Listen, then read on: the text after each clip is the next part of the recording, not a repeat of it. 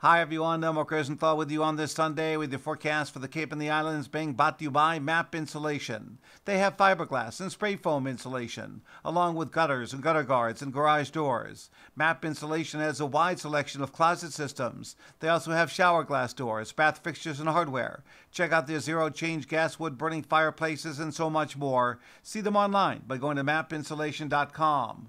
Here's what's happening for today. Lots of sunshine. It'll be nice. Temperatures 45 to 50. Tomorrow morning sun, the decreasing clouds. It'll be in the 40s. Chance of snow breaking out at night. May start as rain and then flip to snow. Snow could be heavy at times Tuesday. Windy. Temperatures falling back to near freezing. Total snow accumulation of the potential for 6 inches, maybe more. Cold weather will follow for the rest of the work week. That's my forecast. I'm Mark Rosenthal.